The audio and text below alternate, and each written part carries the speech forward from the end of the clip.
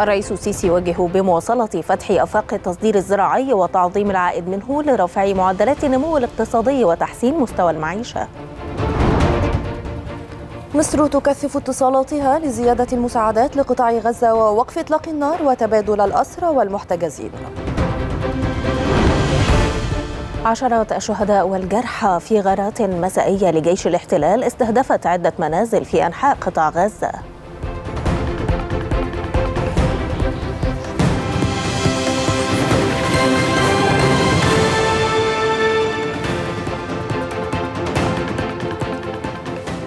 al التاسعة مساء والسابعة بتوقيت جرينتش نشرة إخبارية مفصلة تأتي حضراتكم من القاهرة بدايتها مع الزميلة ألاء شتاء إليك ألاء. شكرا لك سارة وأهلا بكم مشاهدينا الكرام. وجه الرئيس عبد الفتاح السيسي بضرورة مواصلة العمل على استكمال المشروعات القومية للإنتاج الزراعي واستصلاح الأراضي على مستوى الجمهورية. وخلال اجتماعه مع رئيس الوزراء وعدد من المسؤولين لمتابعة التطورات التنفيذية لعدد من المشروعات القومية للإنتاج الزراعي خاصة المشروع القومي للإنتاج الزراعي مستقبل مصر. وجه الرئيس السيسي بمواصلة فتح آفاق التصدير الزراعي وتعظيم العائد منه على النحو الذي يسهم في رفع معدلات النمو الاقتصادي وتحسين مستويات معيشة المواطنين وبناء القدرة الشاملة للدولة. اجتمع السيد الرئيس عبد الفتاح السيسي مع الدكتور مصطفى مدبولي رئيس مجلس الوزراء والدكتور محمد شاكر وزير الكهرباء والطاقة المتجددة والسيد السيد القصير وزير الزراعة واستصلاح الأراضي واللواء أمير سيد أحمد مستشار رئيس الجمهورية للتخطيط العمراني والعقيد دكتور بهاء الغنام المدير التنفيذي لجهاز مستقبل مصر للتنمية المستدامة. صرح المستشار أحمد فهمي المتحدث الرسمي باسم رئاسة الجمهورية أن الاجتماع تناول متابعة التطورات التنفيذية لعدد من المشروعات القومية للإنتاج الزراعي واستصلاح الأراضي على مستوى الجمهورية خاصة المشروع القومي للإنتاج الزراعي مستقبل مصر. إلى جانب المشروعات في منطقتي تشكى وسيناء وفي محافظات بني سويف والمنيا والفيوم وكذلك مشروع سنابل صونو بأسوان وقد اطلع السيد الرئيس في هذا الإطار على معدلات تنفيذ المراحل الحالية والمستقبلية لتلك المشروعات. بما في ذلك البنية الأساسية ووسائل الري الحديثة واستخدام التحول الرقمي في تطوير الإنتاجية الزراعية وموقف محطات المعالجة والتغذية الكهربائية والمناطق الصناعية المرتبطة بهذه المشروعات. وقد وجه سيادته بمواصلة العمل على استكمال مستهدفات هذه المشروعات الاستراتيجية العملاقة في إطار خطة الدولة لمعالجة الخلل المزمن في محدودية رقعة الأراضي الزراعية من المساحة الجغرافية الكلية للجمهورية وتحقيق طفرة نوعية في هذا الصدد تضيف لقدرة الدولة على تحقيق الأمن الغذائي للشعب المصري وكذلك مواصلة فتح آفاق التصدير الزراعي وتعظيم العائد منه. على النحو الذي يسهم في رفع معدلات النمو الاقتصادي وتحسين مستويات معيشة المواطنين وبناء القدرة الشاملة للدولة. صدق الرئيس عبد الفتاح السيسي على القانون رقم 172 لسنة 2023 بتقرير زيادة في علاوة غلاء المعيشة الاستثنائية للموظفين المخاطبين بقانون الخدمة المدنية والعاملين بالدولة غير المخاطبين به. وبتقرير زيادة في المنحة الاستثنائية للعاملين بشركات القطاع العام وقطاع الأعمال العام ومنح أصحاب المعاشات أو المستحقين عنهم منحة استثنائية. وبتعديل بعض أحكام قانون التأمينات الاجتماعية والمعاشات والذي وافق عليه مجلس النواب.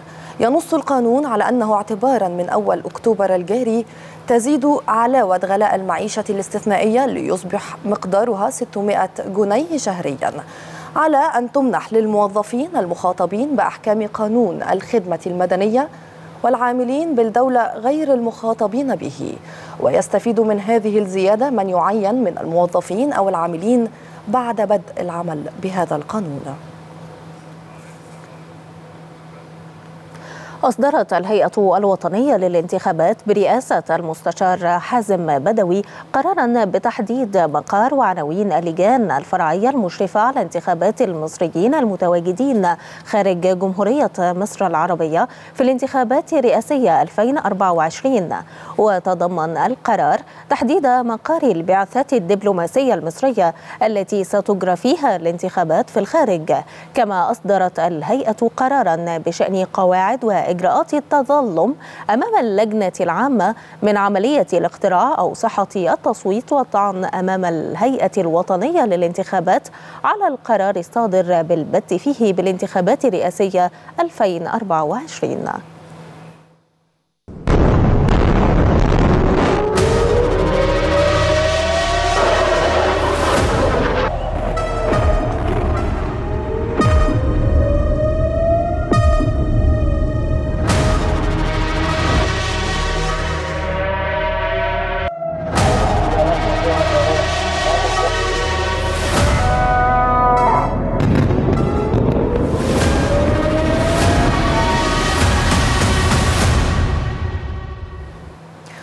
سلطت وسائل إعلام وصحف عالمية الضوء على تحذير الرئيس عبد الفتاح السيسي من تفاقم الأوضاع في قطاع غزة وتوسيع دائرة التصعيد اقليميا مما يؤدي إلى تحويل المنطقة بأكملها إلى قنبلة موقوتة وتجديده على ضرورة احترام سيادة الدولة المصرية وعدم المساس بها. ركزت صحيفة وول ستريت جورنال الأمريكية على تأكيد الرئيس السيسي خلال فعاليات النسخة الثانية من الملتقى والمعرض الدولي السنوي للصناعة. أن هدف جيش مصر بقوته وقدراته وكفاءته هو حماية مصر وأمنها القومي مشددا على أهمية العقل والحكمة عند استخدام القوة. خاصة أن مصر تلعب دورا إيجابيا للغاية في خفض التصعيد. نقلت صحيفة الجارديان البريطانية تحذير الرئيس السيسي من تحول المنطقة إلى قنبلة موقوتة. ومن أي توسع لدائرة الصراع في قطاع غزة بغض النظر عن السبب. كما سلطت شبكة اي بي سي نيوز الأمريكية أيضا الضوء على تحذير الرئيس السيسي من توسع الصراع في غزة. ونقلت شبكة سي ان ان الأمريكية التحذير نفسه عن الرئيس السيسي وركزت على تصريحه بأن الشرق الأوسط سيصبح قنبلة موقوتة. وأن توسع الصراع في غزة لن يكون في صالح أي من دول المنطقة. نقلت صحيفة تلغراف البريطانية عن الرئيس السيسي تأكيده ضرورة احترام سيادة الدولة المصرية وكذلك تحذيره من توسع الصراع في غزة. كما ركزت إذاعة فويس أوف أمريكا على موقعها الإلكتروني على تحذير الرئيس السيسي من مخاطر تفاقم الصراع في غزة على المنطقة وتحولها إلى قنبلة موقوتة. كما نقل اتحاد البث السويسري عبر موقعه الإلكتروني سويس إنفو عن الرئيس السيسي تأكيده على ضرورة احترام سيادة الدولة المصرية. وقوله إن مصر دولة قوية لا يمكن المساس بها. وفي تقرير مطول حول الأوضاع في غزة ركزت مجلة بوليتيكيو الأمريكية على تحذير الرئيس السيسي من تفاقم الصراع بغض النظر عن سبب التفاقم. ومكررا تحذيره من توسع النزاع وتحول المنطقة إلى قنبلة موقوتة تهدد الجميع.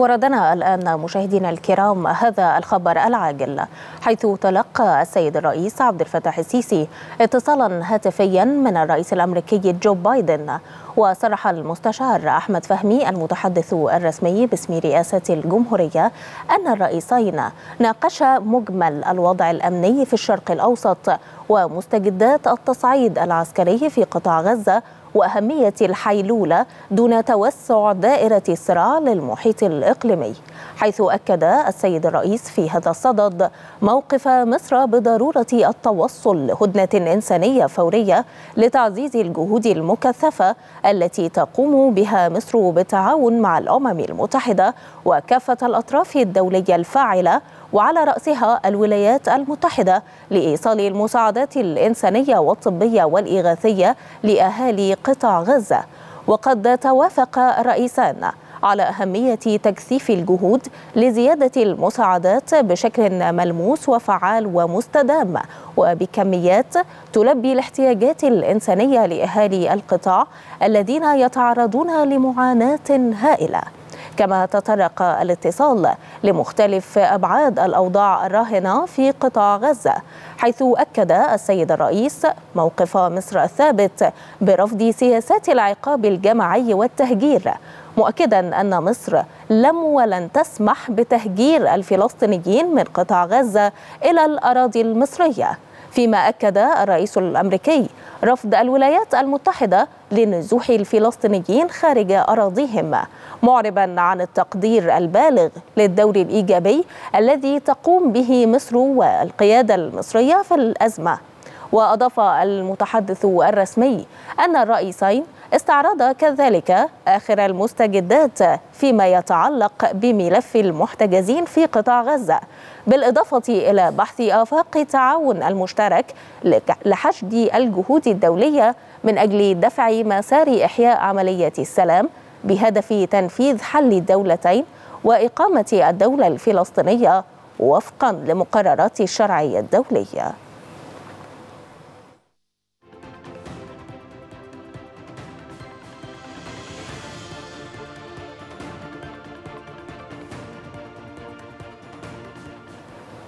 مرة أخرى مشاهدينا الكرام ننوه إلى هذا الخبر العاجل حيث تلقى السيد الرئيس عبد الفتاح السيسي اتصالا هاتفيا من الرئيس الأمريكي جو بايدن. وصرح المستشار أحمد فهمي المتحدث الرسمي باسم رئاسة الجمهورية أن الرئيسين ناقشا مجمل الوضع الأمني في الشرق الأوسط ومستجدات التصعيد العسكري في قطاع غزة وأهمية الحيلوله دون توسع دائرة الصراع للمحيط الإقليمي حيث أكد السيد الرئيس في هذا الصدد موقف مصر بضرورة التوصل لهدنة إنسانية فورية لتعزيز الجهود المكثفة التي تقوم بها مصر بالتعاون مع الأمم المتحدة وكافة الأطراف الدولية الفاعلة وعلى رأسها الولايات المتحدة. وذلك لإيصال المساعدات الإنسانية والطبية والإغاثية لأهالي قطاع غزة. وقد توافق الرئيسان على أهمية تكثيف الجهود لزيادة المساعدات بشكل ملموس وفعال ومستدام وبكميات تلبي الاحتياجات الإنسانية لأهالي القطاع الذين يتعرضون لمعاناة هائلة. كما تطرق الاتصال لمختلف أبعاد الأوضاع الراهنة في قطاع غزة حيث أكد السيد الرئيس موقف مصر الثابت برفض سياسات العقاب الجماعي والتهجير مؤكدا أن مصر لم ولن تسمح بتهجير الفلسطينيين من قطاع غزة إلى الأراضي المصرية. فيما أكد الرئيس الأمريكي رفض الولايات المتحدة لنزوح الفلسطينيين خارج أراضيهم معربا عن التقدير البالغ. للدور الإيجابي الذي تقوم به مصر والقيادة المصرية في هذه الأزمة.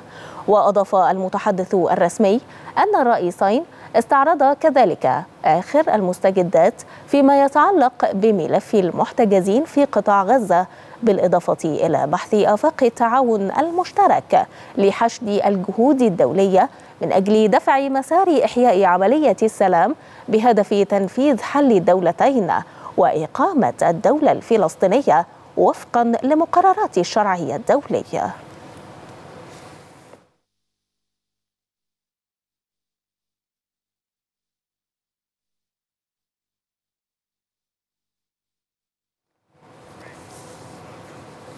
مشاهدينا نعيد على حضراتكم هذا الخبر العاجل حيث تلقى السيد الرئيس عبد الفتاح السيسي اتصالا هاتفيا من الرئيس الأمريكي جو بايدن. صرح المستشار أحمد فهمي المتحدث الرسمي باسم رئاسة الجمهورية أن الرئيسين ناقشا مجمل الوضع الأمني في الشرق الأوسط. ومستجدات التصعيد العسكري في قطاع غزة وأهمية الحيلولة دون توسع دائرة الصراع للمحيط الإقليمي حيث أكد السيد الرئيس في هذا الصدد موقف مصر بضرورة التوصل لهدنة إنسانية فورية لتعزيز الجهود المكثفة التي تقوم بها مصر بالتعاون مع الأمم المتحدة وكافة الأطراف الدولية الفاعلة على رأسها. الولايات المتحدة لإيصال المساعدات الإنسانية والطبية والإغاثية لأهالي قطاع غزة. وقد توافق الرئيسان على أهمية تكثيف الجهود لزيادة المساعدات بشكل ملموس وفعال ومستدام وبكميات تلبي الاحتياجات الإنسانية لأهالي القطاع الذين يتعرضون لمعاناة هائلة. كما تطرق الاتصال لمختلف أبعاد الأوضاع الراهنة في قطاع غزة حيث أكد السيد الرئيس موقف مصر الثابت برفض سياسات العقاب الجماعي والتهجير مؤكدا أن مصر لم ولن تسمح بتهجير الفلسطينيين من قطاع غزة إلى الأراضي المصرية.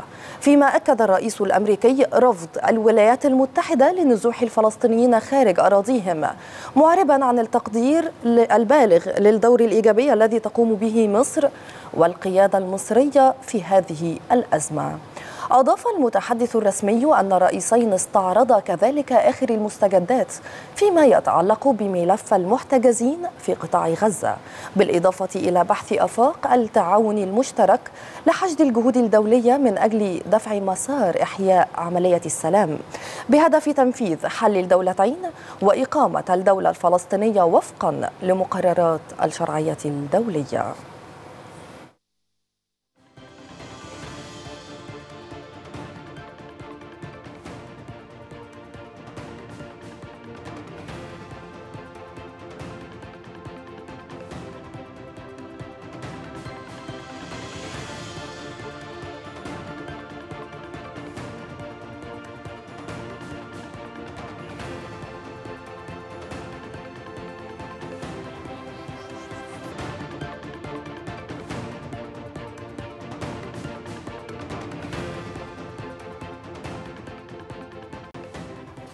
أكدت مصادر رفيعة المستوى للقاهرة الإخبارية أن مصر تكثف اتصالاتها مع كل الأطراف الإقليمية والدولية لإدخال كميات كبيرة من المساعدة الإنسانية لقطاع غزة خلال الأسبوع الجاري. وأشارت المصادر إلى وجود اتصالات مصرية مكثفة مع كل الدول والأطراف المعنية دوليا وإقليميا للتوصل لاتفاق لوقف إطلاق النار وتبادل الأسرى والمحتجزين بقطاع غزة.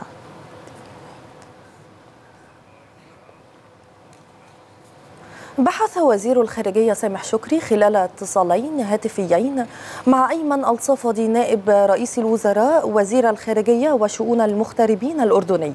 والأمير فيصل بن فرحان وزير الخارجية السعودي بحث مستجدات التصعيد العسكري في قطاع غزة. أكد السفير أحمد أبو زيد المتحدث باسم وزارة الخارجية أن الاتصالين يأتيان في إطار تنسيق الجهود العربية من أجل التعامل مع التصعيد العسكري غير المسبوق في قطاع غزة. والاعتداءات المستمرة ضد المدنيين الفلسطينيين وسبل إنفاذ هدنة إنسانية فورية تحفظ أرواح الأشقاء الفلسطينيين وتخفف من وطأة المعاناة الإنسانية المتفاقمة لسكان القطاع.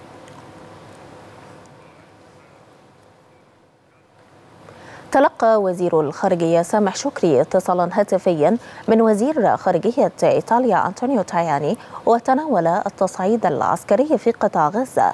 تبادل الوزيران الرؤى والتقييمات حول ضرورة تغليب مسار التهدئة وتوفير الحماية للمدنيين وضمان توفير النفاذ الآمن والمستدام دون عوائق للمساعدة الإنسانية لإنقاذ حياة الفلسطينيين في غزة.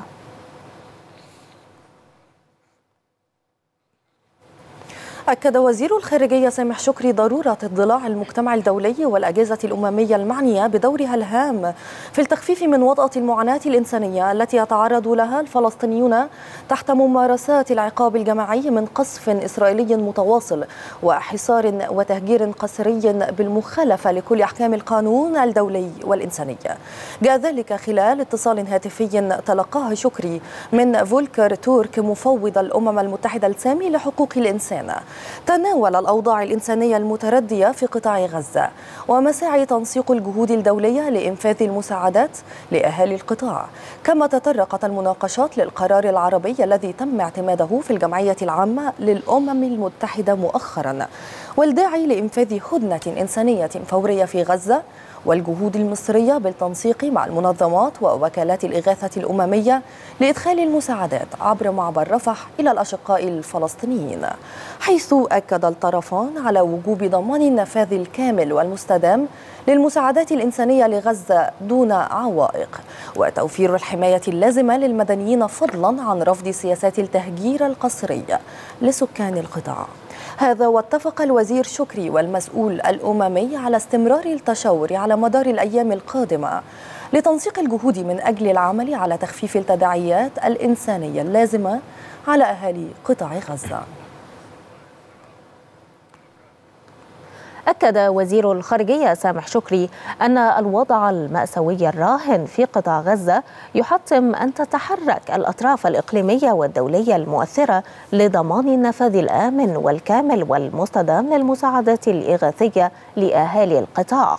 جاء ذلك خلال استقباله ديفيد ساترفيلد المبعوث الأمريكي الخاص للقضايا الإنسانية بالشرق الأوسط حيث صرح المتحدث باسم الخارجية السفير أحمد أبو زيد بأن وزير الخارجية أكد خلال اللقاء حجم الكارثة الإنسانية التي يشهدها القطاع مشددا على ضرورة وجود تحرك دولي جاد ومنسق لإنفاذ هدنة إنسانية فورية وتجنيب تعريض المدنيين للمزيد من ويلات هذا التصعيد. في سياق متصل أكد وزير الخارجية أن إنفاذ المساعدات هو ركن واحد من جهود التعامل مع الأوضاع الإنسانية المتردية في غزة. ويتعين ألا يصاحبه توسيع في العمليات العسكرية البرية للقوات الإسرائيلية داخل القطاع.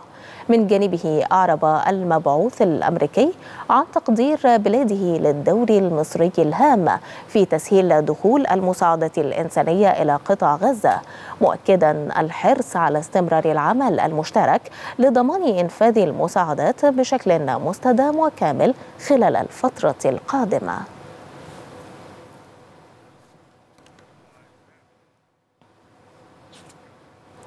حذر وزير الخارجية سامح شكري من العواقب الإنسانية والأمنية الوخيمة لسياسات إسرائيل التصعيدية ضد الشعب الفلسطيني في غزة. لا سيما القصف المتواصل والحصار والتهجير القسري. وخلال استقباله وزيرة خارجية بلجيكا حج الأحباب أكد وزير الخارجية رفض مصر القاطع لأية محاولات لتصفية القضية الفلسطينية على حساب دول المنطقة. كما أكد وزير الخارجية على المخاطر الجسيمة التي تك التي تكتف مسار توسيع القوات الإسرائيلية لعملياتها البرية في غزة. مشددا على ضرورة بذل جهود دولية منسقة والبناء على مباحثات القادة ومسؤولي الحكومات خلال قمة القاهرة للسلام من أجل وقف الحرب الدائرة وتوفير الحماية اللازمة للمدنيين. من جانبها أعربت وزيرة خارجية بلجيكا عن تطلعها للاستماع إلى رؤية مصر بشأن سبل دعم القضية الفلسطينية وإحياء عملية السلام. باعتبار مصر هي الرائدة دائما في جهود تحقيق السلام بالمنطقة. زار المدعي العام للمحكمة الجنائية الدولية كريم خان معبر رفح البري وأعرب خان عن أمله في زيارة قطاع غزة وإسرائيل خلال زيارته إلى المنطقة. كما أكد ضرورة عدم وجود أي عائق لوصول إمدادات الإغاثة الإنسانية إلى المدنيين. مؤكدا أن عرقلة إمدادات الإغاثة إلى سكان غزة ربما يشكل جريمة حرب بموجب اختصاص المحكمة. وفي مؤتمر صحفي بالقاهرة عقب عودته من زيارة معبر رفح. أكد المدعي العام للمحكمة الجنائية الدولية كريم خان أن التحقيقات في القضية الفلسطينية تعتبر هامة جدا للمحكمة كما أعرب عن حزنه لاستهداف الأطفال في قطاع غزة مشيرا إلى أن المدنيين في القطاع يعانون ويعيشون حربا لا ذنب لهم بها. الفلسطينيين ليسوا طرفا في تلك المشكلة أو تلك العداءات. لقد قتل العديد منهم وأصيب العديد منهم. وإنه من المفزع أن ترى أجسام وجثث الأطفال الصغار. وهي مملوءة بالتراب. وأن نبقى صامتين. وبلا عواطف لأنهم injuries أو حتى أولئك الذين يجرون في المؤسسات الطبية وليس لديهم وسائل لمحاولة إصلاح ذلك الذي يروه. The fact that innocent civilians are trapped الحقيقة أن الأبرياء في escape هذا العالم not their fault. Is not tenable. لا يمكن لا يجب أن يهربوا لأنه ليس خطأهم. هذا ليس مقبولا. يجب أن نرجع خطوة للوراء ونقرر بأن هذا ليس مقبولا. They are deprived of an opportunity. أفاد مراسل إكسترا نيوز بمعبر رفح بدخول سيارات محملة بالمساعدة اليوم إلى قطاع غزة عبر المعبر حيث تم تسليمها للجانب الفلسطيني. يأتي ذلك فيما يواصل معبر رفح استقبال المساعدة الإنسانية والإغاثية لإدخالها إلى الجانب الفلسطيني. وذلك تنفيذا لتوجيهات السيد الرئيس عبد الفتاح السيسي بتقديم كل أوجه الدعم للأشقاء الفلسطينيين. وأفاد مراسل إكسترا نيوز بوصول طائرة فرنسية تحمل مساعدات لقطاع غزة إلى مطار العريش. كما أفاد مراسلنا بوصول طائرة مساعدات كويتية لمطار العريش تمهيدا لدخولها لغزة. هذا ويواصل مطار العريش استقبال طائرات المساعدات استعدادا لدخولها إلى قطاع غزة. يأتي ذلك تنفيذا لتوجيهات الرئيس عبد الفتاح السيسي بتقديم كل الدعم للأشقاء الفلسطينيين في قطاع غزة.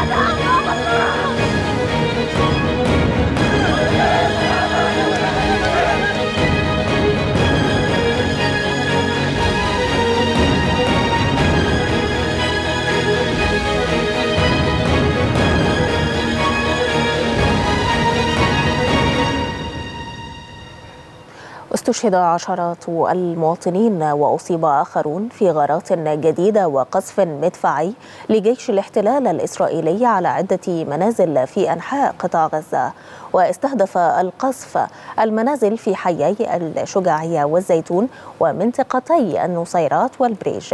كما قصف جيش الاحتلال منزلا مأهولا بالسكان في بلدة بيت لاهيا شمال القطاع وآخر خلف المد- المدارس في مخيم جبليا كما قصفت طائرة الاحتلال أحد المساجد في منطقة مشروع بيت لاهيا كما استهدف الاحتلال محيط مستشفى القدس في حي تل الهوى. ما أدى إلى وقوع إصابات في صفوف المرضى والجرحى والمواطنين داخل المستشفى.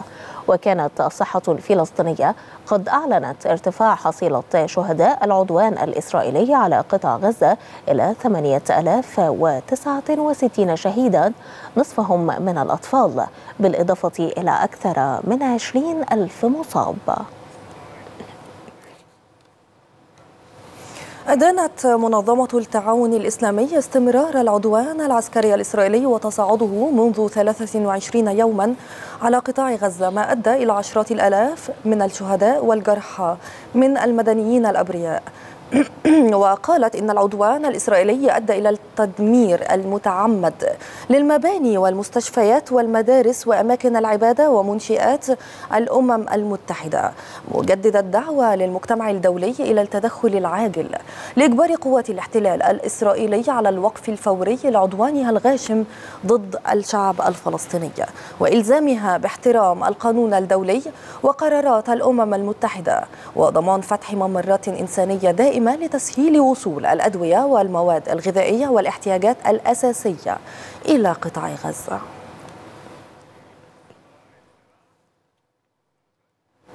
قال الأمين العام للأمم المتحدة أنطونيو غوتيريش أن الوضع في غزة يزداد يأسا بمرور الساعات كما شدد على ضرورة توحيد الجهود لإنهاء هذا الكابوس لشعب غزة وجميع المتضررين في أنحاء العالم. وفي مؤتمر صحفي مشترك مع رئيس وزراء نيبال خلال زيارته للبلاد قال غوتيريش إن قوات الاحتلال كثفت عملياتها العسكرية بدلا من وقف إنساني لإطلاق النار والمدعوم من المجتمع الدولي مضيفا أن عدد المدنيين الذين استشهدوا وأصيبوا غير مقبول على الإطلاق.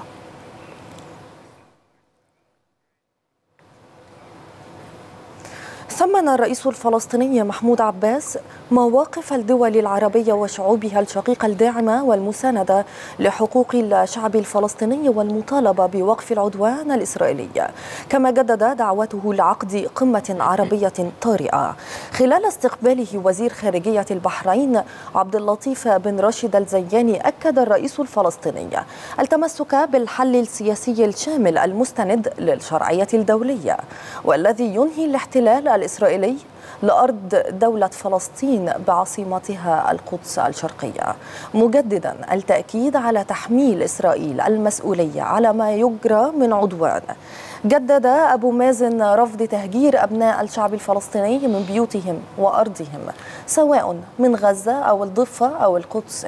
ومؤكدا أن الفلسطينيين لن يقبلوا بالحلول العسكرية والأمنية.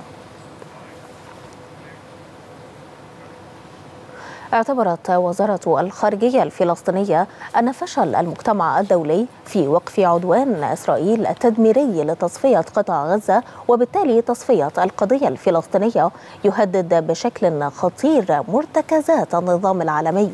وقالت الخارجية الفلسطينية إن غياب الإرادة الدولية لوقف عدوان يفقد مؤسسات الشرعية الدولية خاصة القائمة على حفظ وضمان مبادئ حقوق الإنسان وما تبقى لها من مصداقية ويحول مضامين ميثاق الأمم المتحدة ونصوص القانون الدولي والقانون الدولي لحقوق الإنسان إلى مجرد ما وصفته بحبر على ورق ويستبدلها بمنطق القوي يأكل الضعيف. مدينة استمرار الاحتلال إسرائيل في حربه التدميرية ضد قطاع غزة لليوم الثالث والعشرين على التوالي. أدى انقطاع الاتصالات وخدمات الإنترنت إلى حالة من الذعر بين سكان قطاع غزة وطواقم الدفاع المدني بسبب صعوبة التواصل للإبلاغ عن حالات الاستهداف. المزيد في سياق هذا التقرير نتابع. حالة من التوتر والترقب. انتظار هو الأسوأ. ساعات تكاد تكون الأحلك على سكان غزة. بعدما شهدته من انقطاع لكافة سبل الاتصالات واستحالة الوصول لأي معلومات من القطاع المحاصر. الدفاع المدني الفلسطيني أكد أن فترات الانقطاع تلك كانت الأصعب منذ بدء العدوان الإسرائيلي محذرا من تكرار الأمر لأنه يؤثر على طواقم الدفاع المدني وعلى حياة المواطن في القطاع بشكل عام. واجهنا كارثة حقيقية بل ربما يعني يعني أكبر من كارثة. لأول مرة في تاريخ الإسعاف وتاريخ الصحة تتوقف نداءات الاستغاثة من المواطنين بسبب انقطاع الاتصالات والانترنت. نحن الآن نعمل كخطة بديلة صعبة جدا علينا وعلى المواطنين من حيث الاستهدافات أو نداء الاستغاثة. الدفاع المدني الفلسطيني أشار أيضا لوجود بعض الاستهدافات التي جرت ولم يكن لديه علم بها بسبب غياب الاتصالات موضحا في هذا السياق أن طواقم العمل كانت تتحرك بناء على سماع دوي الانفجارات. قطع الاتصالات أثر أيضا على المواطنين الذين انقطعوا على ذويهم في داخل غزة وخارجها. انقطعت الاتصالات هناك قصف في, في عدة مواقع ربما نحن واقفين الآن يتم قصف أي موقع على الدخان الذي يتصاعد من مكان الانفجار. ربما نحدد نوعا ما مكان القصف فنوجه سيارات الإسعاف. حتى سيارات الإسعاف التي تخرج لمكان الاستهداف يتم يعني لا يوجد اتصال بيني وبين سيارة الإسعاف بسبب عدم وجود حتى اللاسلكيات. وواجه سكان غزة انقطاعا شبه كامل للاتصالات وخدمات الإنترنت على مدار يومين مع إلقاء الطائرات الحربية الإسرائيلية قنابل على شتى المناطق بالتزامن مع عمليات برية محدودة نفذها جيش الاحتلال. أعلن الجيش الأردني الأردني أنه لا صحة لما ينشر على بعض مواقع التواصل الاجتماعي حول استخدام قواعد سلاح الجو الملكي الأردني من قبل طائرات أمريكية تقوم بتزويد قوات الاحتلال بالمعدات والذخائر لاستخدامها في عمليات القصف على قطاع غزة. وأكد الجيش الأردني أن نشر وتداول مثل هذه الشائعات يأتي بقصد التأثير على الموقف الأردني. الأردني الثابت تجاه القضية الفلسطينية وسمعة القوات المسلحة التي لا يزال مستشفاها الميداني يستقبل الجرحى والمصابين في قطاع غزة.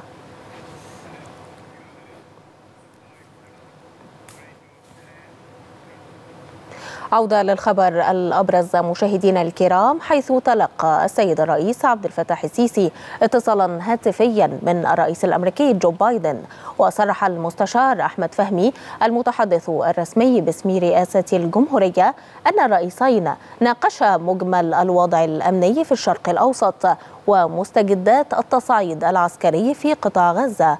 وأهمية الحيلولة دون توسع دائرة الصراع للمحيط الإقليمي حيث أكد السيد الرئيس في هذا الصدد موقف مصر بضرورة التوصل لهدنة إنسانية فورية لتعزيز الجهود المكثفة التي تقوم بها مصر بالتعاون مع الأمم المتحدة وكافة الأطراف الدولية الفاعلة وعلى رأسها الولايات المتحدة لإيصال المساعدات الإنسانية والطبية والإغاثية لأهالي قطاع غزة.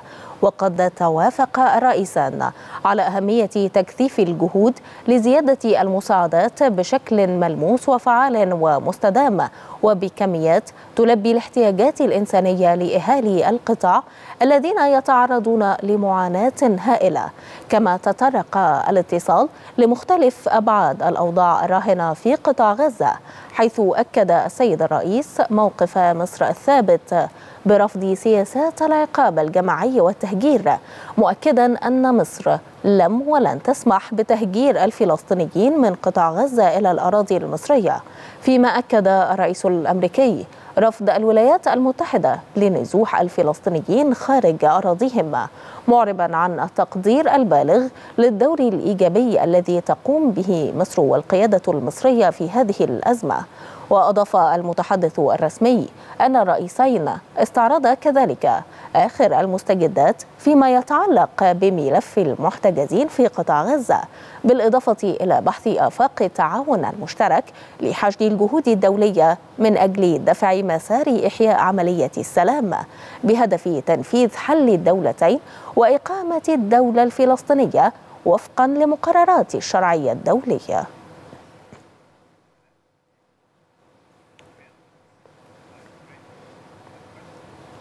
لمزيد من المتابعة مشاهدينا الكرام ينضم إلينا هاتفيا أسامة السعيد مدير تحرير جريدة الأخبار مساء الخير يا فندم وأهلا وسهلا بحضرتك معنا في هذه النشرة الإخبارية أهلا وسهلا بحضرتك واهلا بكل السادة المشاهدين. أهلا بك، يعني رئيس بايدن أكد رفض الولايات المتحدة لنزوح الفلسطينيين خارج أراضيهم، كيف ترى هذا التأكيد خاصة في ضوء الموقف المصري الحاسم إزاء تهجير الفلسطينيين؟ يعني اولا هذا الاعتراف وهذا الموقف يعد مكسبا للدبلوماسية المصرية وللرؤية المصرية لأنه نلحظ بشكل واضح حجم التغير في اللهجة الأمريكية من الدعم المطلق والغير محدود للرؤية الإسرائيلية وللمواقف الإسرائيلية إلى مواقف تبدو وكأنها تتسم بكثير من التوازن أو ببعض التوازن في حقيقة الأمر نعم. بالتأكيد على رفض الولايات المتحدة لنزوح الفلسطينيين بالحديث عن أهمية استدامة دخول المساعدات وزيادة كمية المساعدات الإنسانية لقطاع غزة والتفهم للحاجة الإنسانية لسكان القطاع، التأكيد على الحقوق المشروعة والأمور القرارات القرارات الشرعية الدولية. كلها مكاسب في حقيقة الأمر. تؤكد أن الرؤية المصرية بدأت بالفعل تصل للعقل الغربي وخاصة العقل الأمريكي الذي كان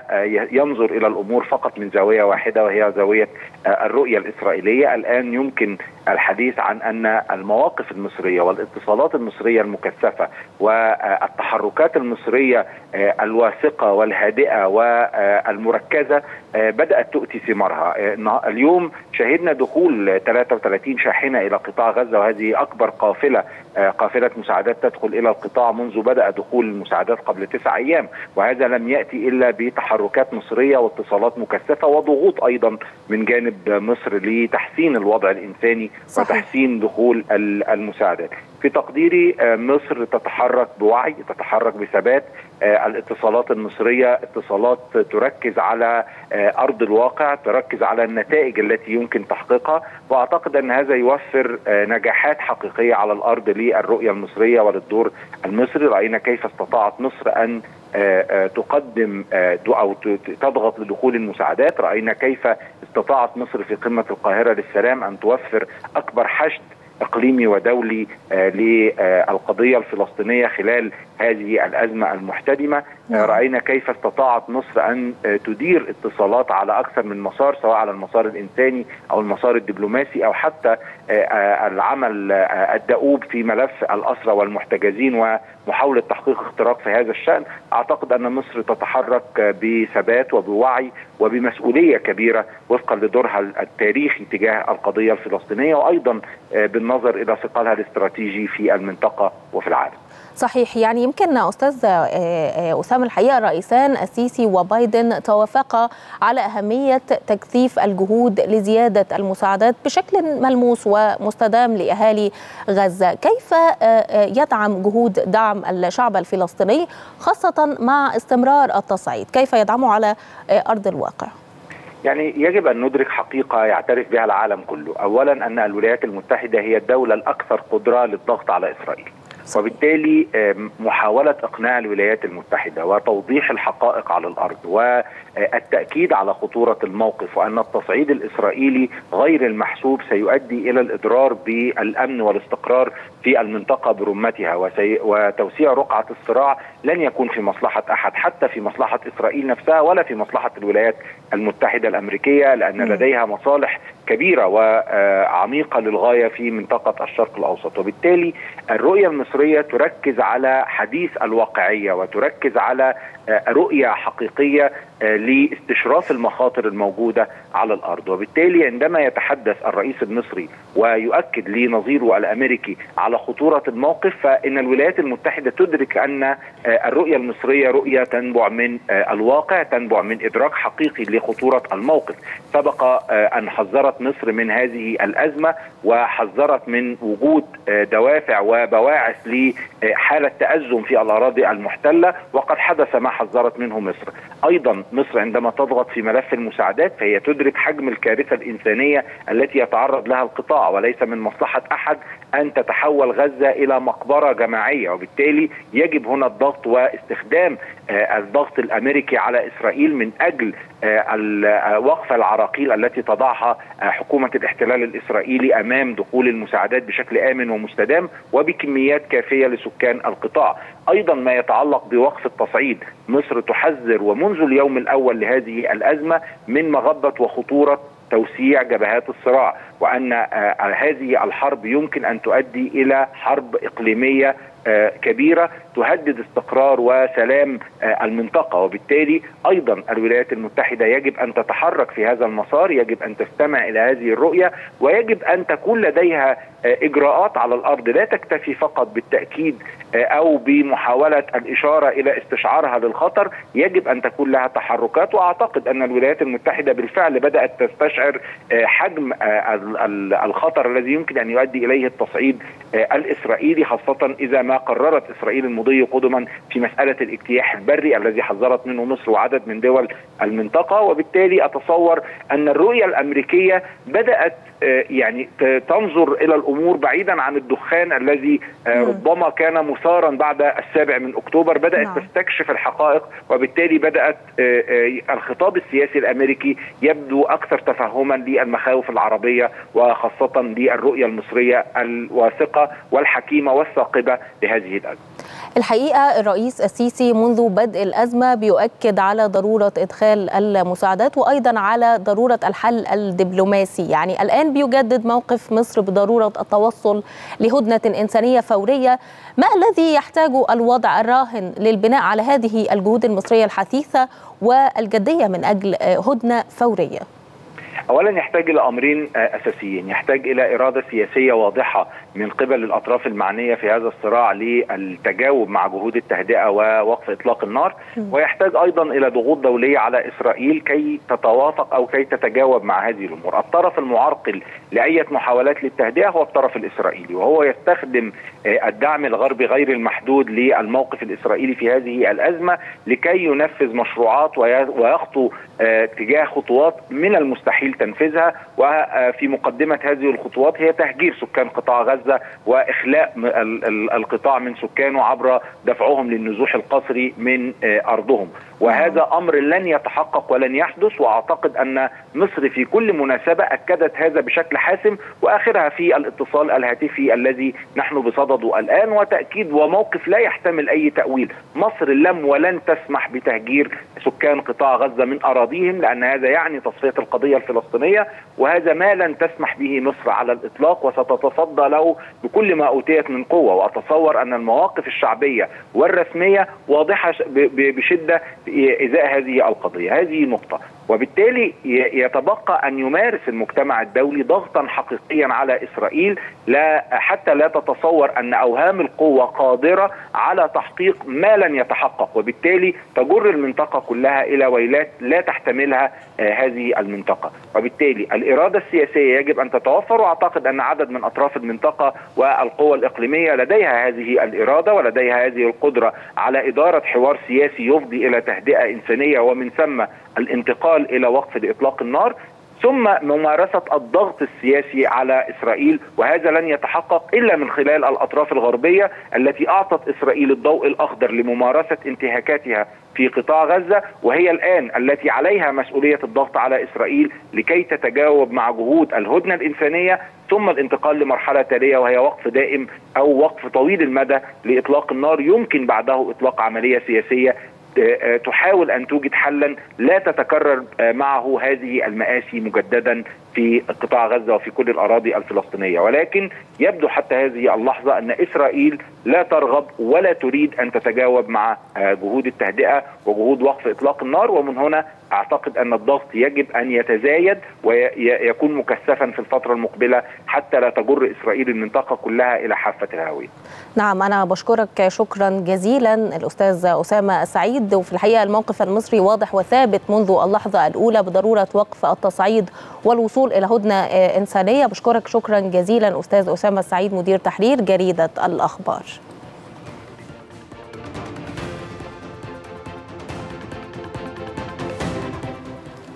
وافق مجلس النواب نهائيا على مشروع القانون المقدم من الحكومة بإصدار قانون الوكالة المصرية لضمان الصادرات والاستثمار. كما وافق المجلس نهائيا على مشروع قانون بتعديل بعض أحكام قانون الضريبة على القيمة المضافة والمزيد نتابعه في التقرير التالي. في جلسته العامة وافق مجلس النواب نهائيا على مشروع القانون المقدم من الحكومة بإصدار قانون الوكالة المصرية لضمان الصادرات والاستثمار والذي يهدف إلى دعم الصادرات والاستثمارات المصرية وتعزيز قدراتها التنافسية إقليميا ودوليا.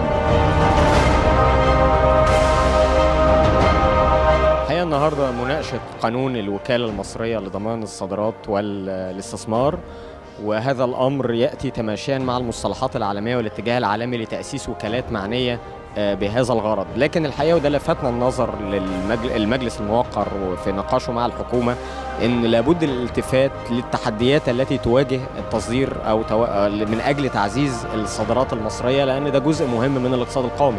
من أهم من أهم هذه العقبات تعدد الجهات اللي ممكن تبقى مسؤولة لازم إن الوكالة تكون مظلة تجمع الجميع من أجل تعزيز الصادرات. كما وافق المجلس نهائيا على مشروع قانون بتعديل بعض أحكام قانون الضريبة على القيمة المضافة والذي يتضمن زيادة ضريبة الجدول الثابتة على منتجات السجائر بالسوق المحلي بمقدار 50 قرشا للشرائح الثلاثة. تم تحريك الشرايح الخاصة بالسجاير كانت 24 جنيه و35 جنيه وأكثر من 35 اتحركت إلى 31 و45 وأكثر من 45 تطبيق القانون سيضر حصيلة 8 مليار جنيه للموازنة العامة للدولة سنويا وده سيساهم في أوجه الصرف المختلفة.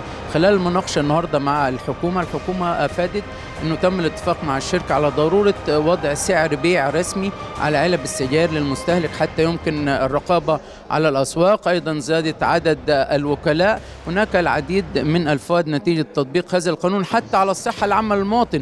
كل المعايير العالمية تتجه نحو زيادة الضرائب على السجاير لتأثيرها أثر سلبي على الصحة العامة للمواطن.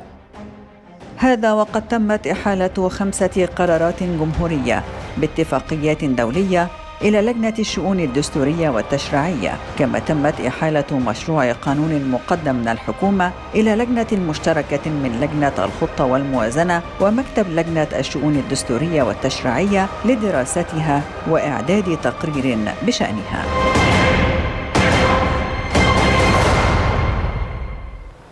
نفى المركز الإعلامي لمجلس الوزراء صحة مقطع صوتي يتم تداوله على مواقع التواصل الاجتماعي يستدل منه على دخول مصر في موجات وبائية جديدة خلال الفترة القادمة ويحذر من خطورة تناول اللقاحات الخاصة بها. أكدت وزارة الصحة والسكان أنه لا صحة لظهور موجات وبائية جديدة في مصر خلال الفترة القادمة أو من خطورة تناول اللقاحات الخاصة بها.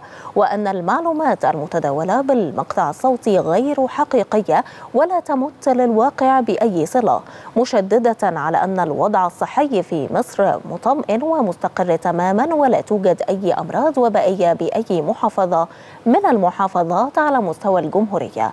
مشيرة إلى امتلاك مصر برنامج ترصد وتقصي للأمراض الوبائية يعمل بشكل فعال في الاكتشاف والرصد المبكر لأي أوبئة أو أمراض قد تتسرب داخل البلاد.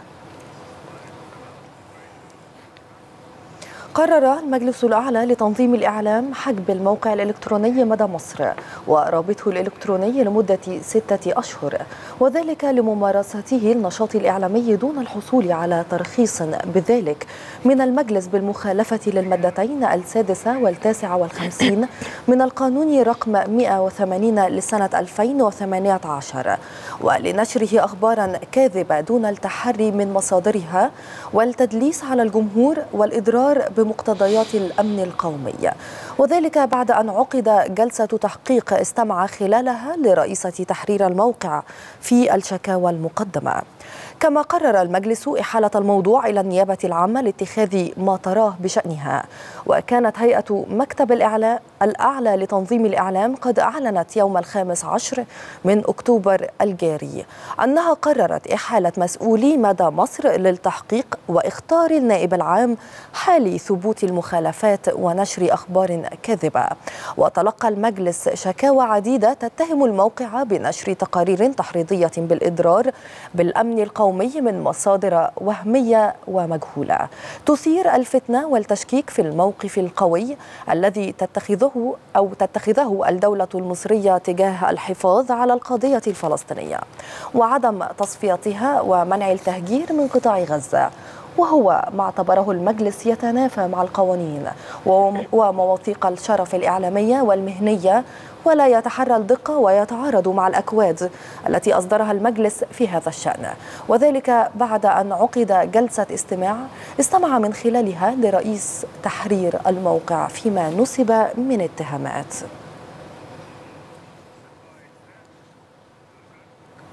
استقبلت الحملة الرسمية للمرشح الرئاسي السيد عبد الفتاح السيسي وفدا من نقابة المحامين. وقال رئيس الحملة الانتخابية محمود فوزي أن نقابة المحامين من أعرق وأكثر النقابات حضورا في المواقف السياسية في كل العصور مثمنا مشاركتهم السياسية في كل الأحداث. ومشيرا إلى دور النقابة المهم في توعية المواطنين في ممارسة حقهم الدستوري في المشاركة الإيجابية في الانتخابات. لافتا إلى أن الدولة المصرية حرصت على تحقيق العديد من الإنجازات خلال السنوات التسع الماضية على كل المستويات. من جانبه أكد وفد النقابة دعمهم للمرشح الرئاسي السيد عبد الفتاح السيسي لما حققه من تنمية حقيقية. وأشاروا إلى أن القيادة السياسية حرصت على إعادة الأمن والاستقرار وعلى تنمية الدولة وبنيتها التحتية بما يحقق مصلحة الوطن والمواطن المصري. شهدت محافظة بني سويف تنظيم فعاليات الاحتفالية الخامسة ضمن مبادرة التمكين الاقتصادي والذي يتم تنفيذها تحت مظلة التحالف الوطني للعمل الأهلي التنموي وبالتعاون بين مؤسسة حياة كريمة وجمعية الأورمان ومؤسسة أبو هشيم الخير لدعم الأسر والفئات الأولى بالرعاية. وخلال الاحتفالية تم تسليم عقود تمويل لمشروعات تنموية صغيرة لعدد 200 مستفيد بواقع 30 ألف جنيه لكل مستفيد منها 15 ألف منحة كقرض حسن لا يسترد. بجانب توزيع عدد 2000 من كراتين مواد غذائية وطنان من اللحوم على الفئات الأولى بالرعاية والأسر الأكثر احتياجاً. بنحاول نوصل لأهلنا في محافظة بني سويف من القرية للمركز للتابع.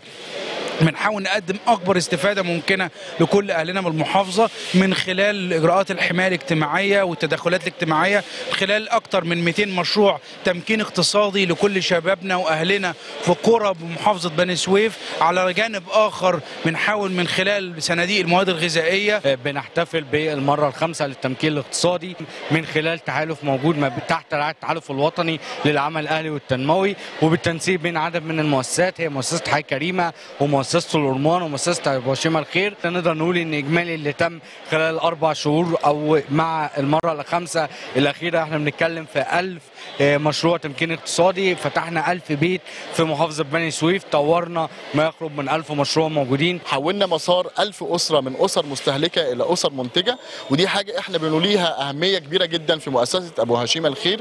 لأنه ما فيش أعظم من أنت تفتح باب رزق لأسر قادره بالمشاريع اللي إحنا بنسلمها لهم إن هي تخلق حياة كريمة لأولادهم. في الشهر الخامس على التوالي بمحافظة بني سويف بيتم توزيع 200 مشروع تمكين اقتصادي بيتم توزيع 2000 كرتونة مواد غذائية و2 طن لحوم على أهالينا بمحافظة بني سويف. أنا النهاردة استلمت القرض بتاعي من التحالف الوطني وأنا شايف إن القرض طبعا هيفيدني واستثمره وهرزق من وراه أنا وأسرتي. الحمد لله إن القرض ده برضه جه وهيفيدني في مشروعي وتمام التمام يعني الحمد لله رب العالمين. وصلت الأكاديمية الوطنية للتدريب فعاليات الأسبوع الخامس من الندوات التعريفية عن برنامج المرأة تقود في المحافظات المصرية.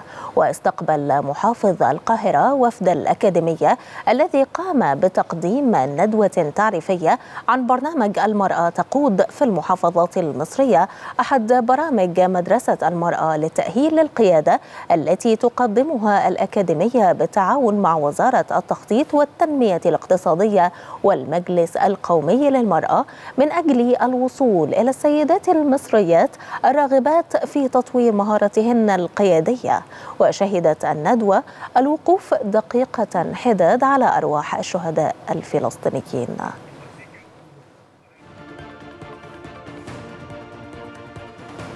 ختاما مشاهدينا لمزيد من الأخبار يمكنكم دوما تحميل تطبيق اكسترا نيوز من خلال App Store أو Google Play أو من خلال ال QR code الظاهر على الشاشة.